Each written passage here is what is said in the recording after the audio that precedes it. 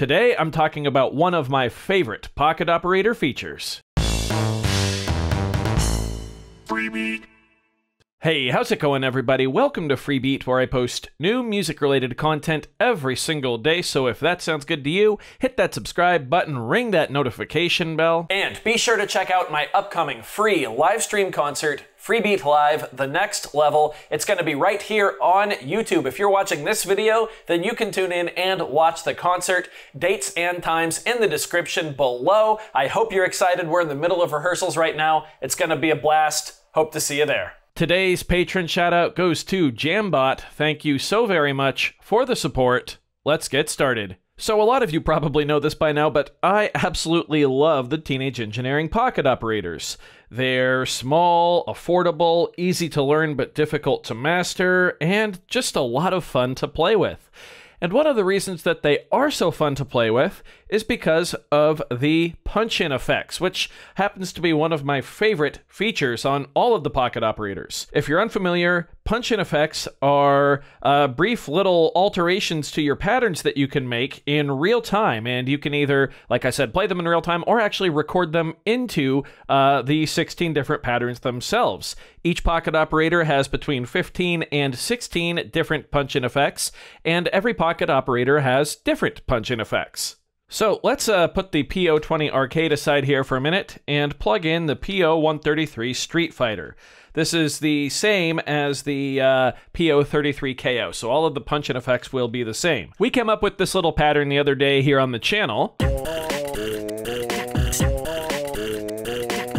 And I figured it would be a lot of fun to use it to demonstrate some of the punch in effects on the PO133/33 because they are some of my favorites. So the way we access punch in effects is while our pattern is playing, we hold down the effects button, and then buttons 1 through 16 will represent our different punch in effects. So we simply hold down the effects button, hold down one of the uh, numbered buttons here, and we'll get access to that uh, effect. Now, on the PO33 and 133, um, button number 16 does not have a punch in effect. That actually uh, gets rid of any punch in effects in case you've actually recorded them uh, into the patterns themselves, which we're not going to do that today. I'm just going to kind of walk you through the different effects. They're pretty cool on the PO33 slash 133. Uh, number 7 and 8 are an octave up and an octave down, and uh, they are really cool. They shift your entire pattern either up an octave or down an octave.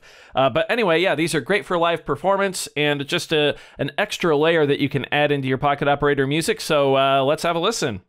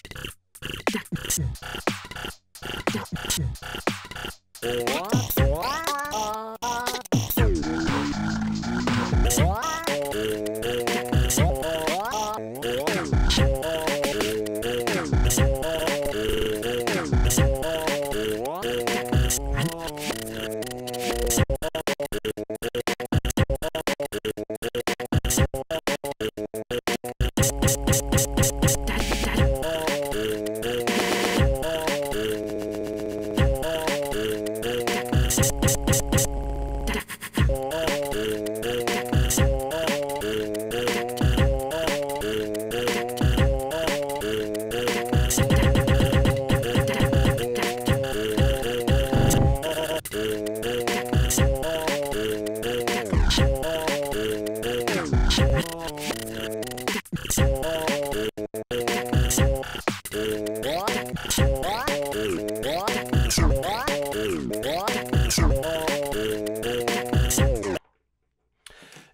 as you can see, they are a lot of fun to play with live and can breathe a lot of new life into existing patterns that you've already made. And if you do want to record them into your music, by the way, all you have to do is play your pattern, turn on write mode, and then hold down effects and use the punch in effects like we were just doing. And while you can only have one punch in effect active at any given time, you can still have multiple punch in effects in a pattern. They just can't overlap. So it would sound something like this.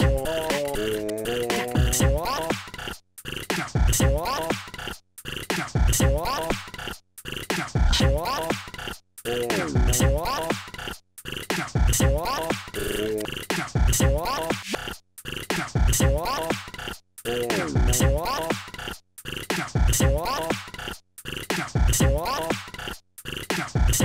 awesome. I have no clue why we don't see punch in effects or punch in style effects, at least, on more devices. The OPZ has some, but of course, that's also made by Teenage Engineering. Uh, and the only other one I can think of that has this kind of effect off the top of my head is the uh, Novation Circuit Rhythm, I believe, has some kind of uh, punch in effect style feature. Uh, but yeah, very, very cool. Let's switch gears now to the PO20 Arcade because uh, punch-in effects work a little bit differently on this pocket operator, and I believe it's unique uh, in how they work. I don't think there are any other pocket operators with effects that work like this. On the arcade, you basically turn on and off all of the punch-in effects. Some of them will last until the end of the pattern. Some of them will keep going until you toggle them off. So it's a bit different experience. The PO20 Arcade also has my favorite punch-in effect, which is on the very last pad here, so you do get 16 punch-in effects on this one, and it's this arpeggio that uh, plays through till the end of the pattern, the end of the measure, and it will end the arpeggio on the on a an appropriate note for whatever uh, chord you have set for the downbeat of the next measure. So uh, I've still got the little jam we came up with the other day on the uh, on the arcade here. I figured we would use that to demonstrate some punch-in effects. So let's go. Watch out for number 16. That's the arpeggio. Here we go.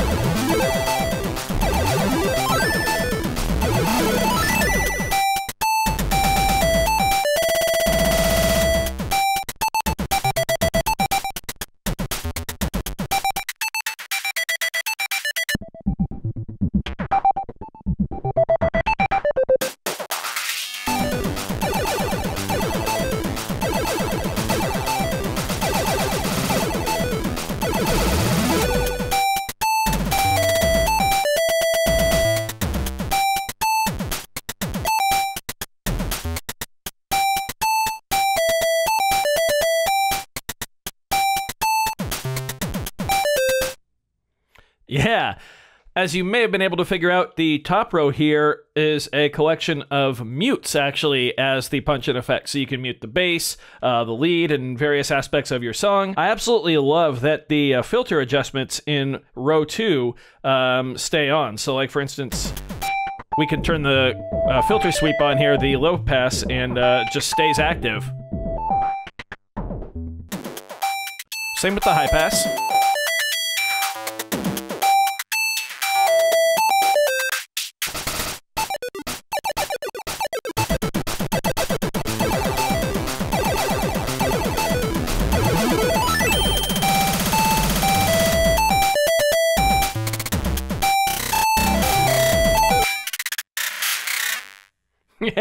So much fun. That's all I really wanted to uh, do in this video is kind of shed some light on these. There's not really too many dedicated videos, just, uh, you know, talking a little bit about the punch-in effects and what they are and what they do.